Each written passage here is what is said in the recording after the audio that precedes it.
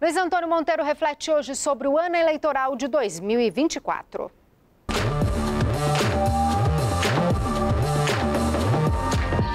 Passe bem. O ano eleitoral de 2024 exige o exercício da vocação de fomento da democracia da Rede Vida Televisão. O esforço de despertar os valores éticos e sociais que nutrem o pleito eleitoral. O alerta é evidente: campanha é cena, envolve mentira e demagogia.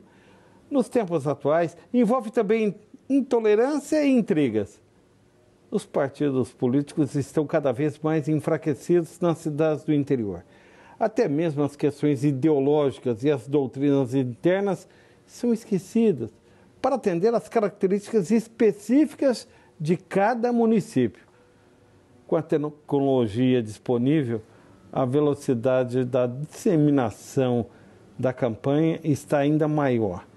Importante observar os prazos legais. Até 6 de abril, todo cidadão que quer ser candidato deve estar inscrito numa agremiação partidária. Sem partido, não pode ser candidato em outubro. É a regra em vigor. Luiz Antônio Monteiro para a Rede Vida. Paz e bem.